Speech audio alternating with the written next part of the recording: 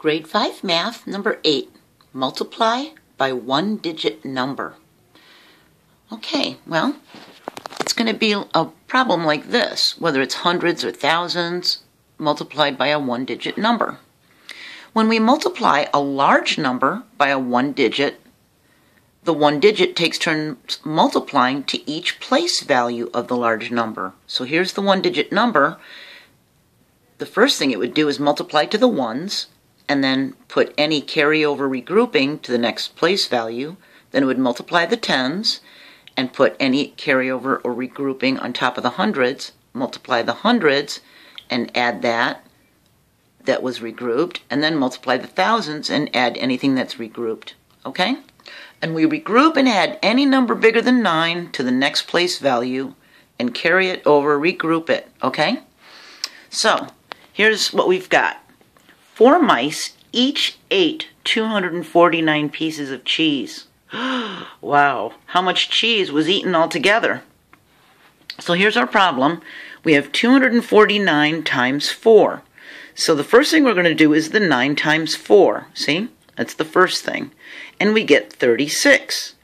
So because we can't put the 36 here, just like adding, we have to regroup it and put it into the tens column. So the 3 goes up here and the 6 goes down here. Now we have to do 4 times 4. See? It's this one's turn. We do the 4 times 4 and we add the 3. See? So we get 19.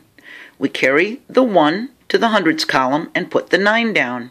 Now we have to do 4 times 2. See? 4 times 2 is 8. And we have to add the 1 that we carried over from the tens column. See? From the 19. So 2 times 4 is 8 plus 1 is 9. And we get 996. So what we're going to do is take turns going first to the ones, then to the tens, then to the hundreds. And any number that we have to regroup over, we remember to add them to the number after we multiply it, okay? Poor miceys, right? Poor little mice.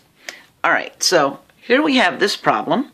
586 times 3. We're going to multiply the ones, then the tens, then the hundreds, okay?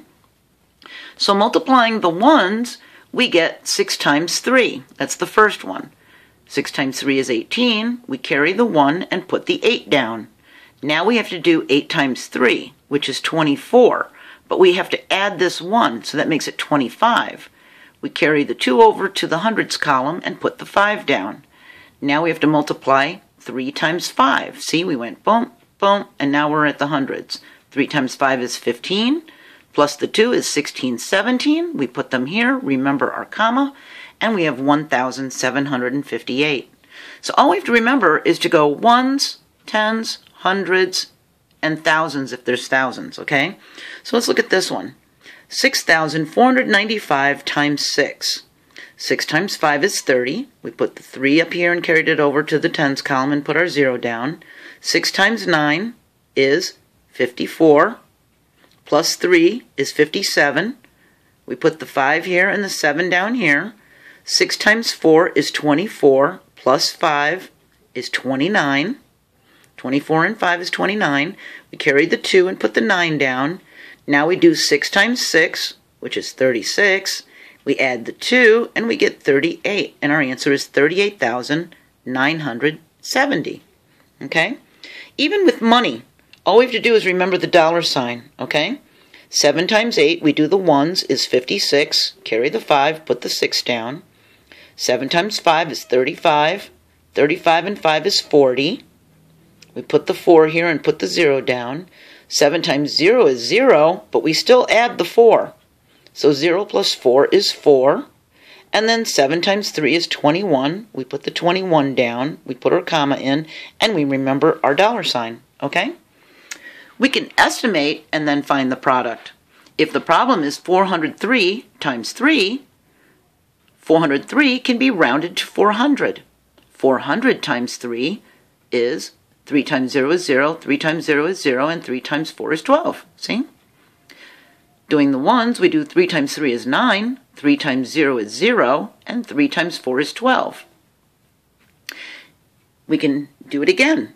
694 times 5 would estimate to and round off to 700. That's the closest hundred because the 9 tells the 6 to go up, and then when it's finished, it turns into a 0, and so does everyone else. 5 times 0 is 0, 5 times 0 is 0, and 5 times 7 is 35. We put our comma in. If we do it for an exact answer, we do 5 times 4 to the ones, which is 20, carry the 2, put the 0 down.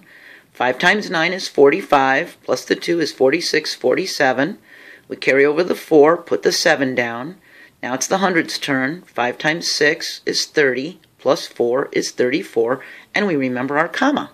All right? Let's do it with thousands.